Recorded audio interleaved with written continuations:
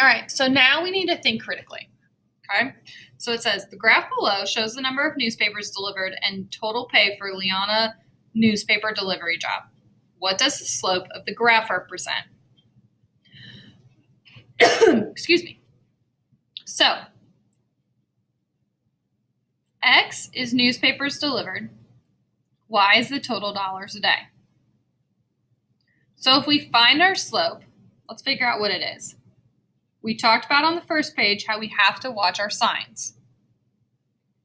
Sorry, this is a point, and this is a point. I go up from the first, I go left from the right. So I went up 5 and over 5, 10, 15, 20. I can divide both of those by what? 5 over 5, which gives me 1 fourth. So, here's my question. What does that mean? Remember, this is rise over run. So what does 1 represent here? Total pay.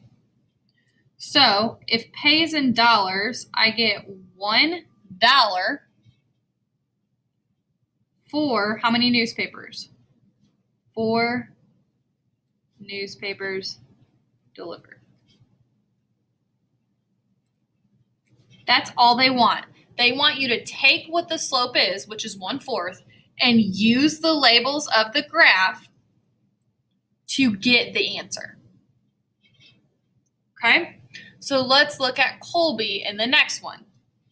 Colby puts $100 in his savings account. The graph below shows the amount in the account would increase over the next 10 years. What does the y-intercept represent? So in the first one, we had to find the slope. In this one, they want us to look at the y-intercept. So it's right here. Well, we just talked about what the y-intercept meant, right? We talked about how it was the initial fee, upfront fee, down payment, security, the starting value, the one-time thing. Okay? So in this case, what would it represent? In this case, it would represent the starting value. So Colby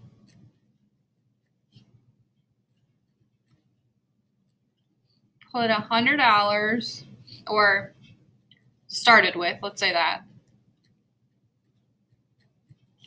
Started with a hundred dollars in the account. Does that make sense? We just used the words that we just talked about and related it back to this. Okay? I want you to try and do the next two, and then that, that'll be it for notes.